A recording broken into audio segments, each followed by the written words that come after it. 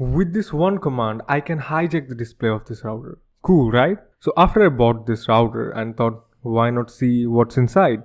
And I found it really interesting that this pocket router has a small LCD display.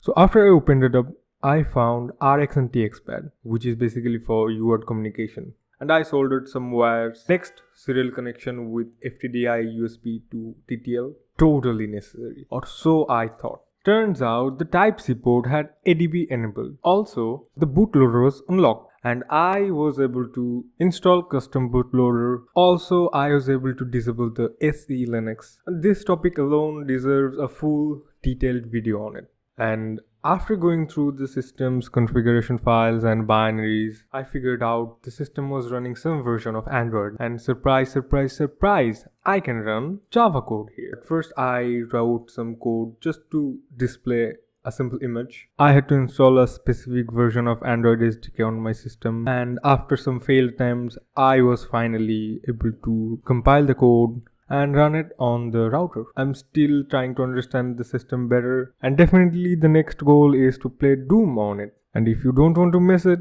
definitely follow and join our Discord.